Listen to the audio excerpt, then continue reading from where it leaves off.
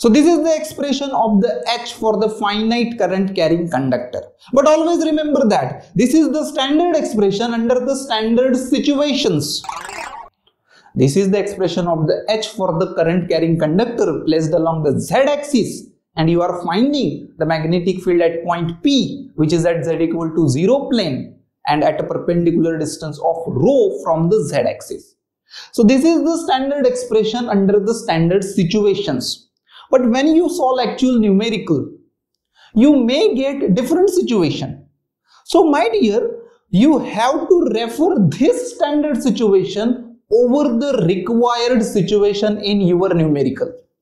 What I'm trying to say, for applying this formula for your required situation, you have to refer these conditions for that required numerical. You have to refer that perpendicular distance rho. You have to refer alpha 1, alpha 2, everything. You have to refer this standard situation for your required numerical.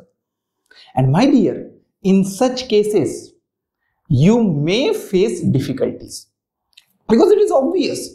Every time you don't expect the numerical based on the standard situation.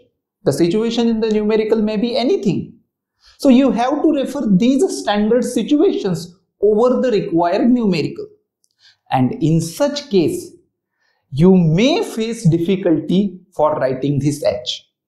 So, you know, we, we will not go with this raw formula as we got from the derivation, but we will modify it, we will rewrite it to apply it in any case we will make this a general formula so that we could apply it in any case of your numerical. And it is very simple. We can rewrite this expression of H as like this. This is the more general way to represent H for the finite current carrying conductor.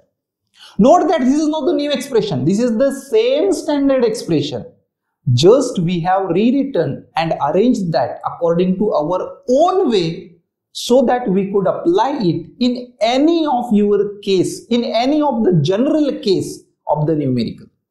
Isn't it? So this is the more general way for representing H of the finite current carrying conductor.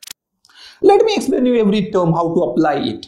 So consider any current carrying finite conductor carrying current I and placed anywhere in the space with any orientation. And let us say we are finding magnetic field H due to that wire at point P. So of course, I will be the current. The I in our expression is nothing but the current. It is very simple. Whatever current that wire is having, that is nothing but the I.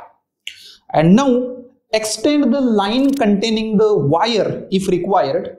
If required, extend the line containing the wire and let us say R. Capital R is the perpendicular distance of the point P from this line containing the wire. What did I say?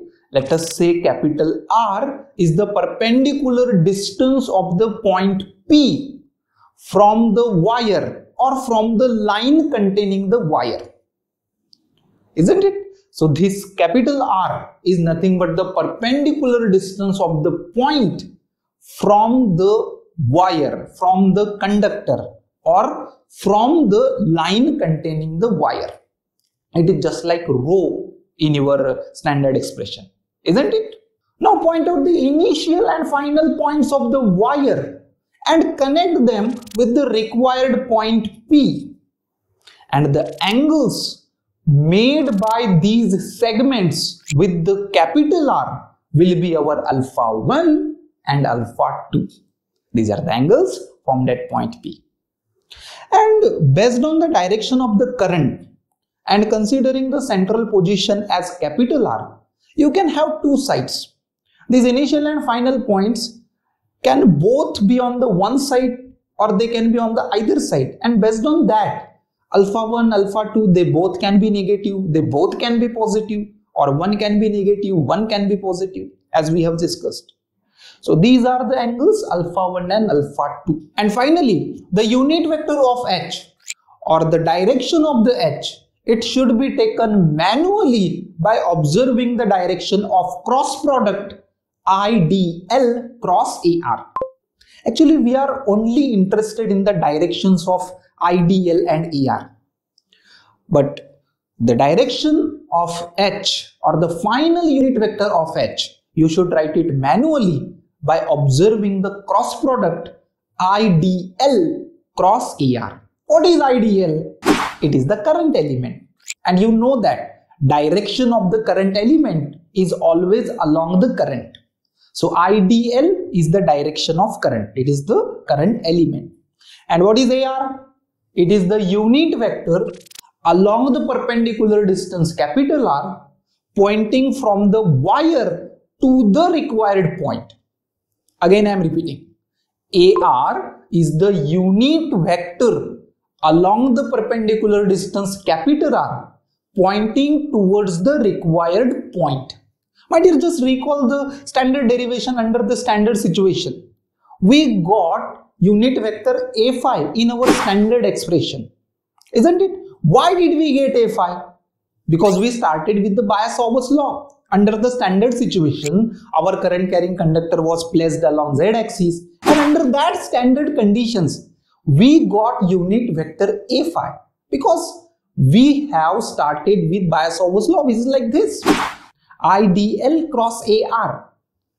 If you remember at that time that small r was the vector pointing from the current element to the required point.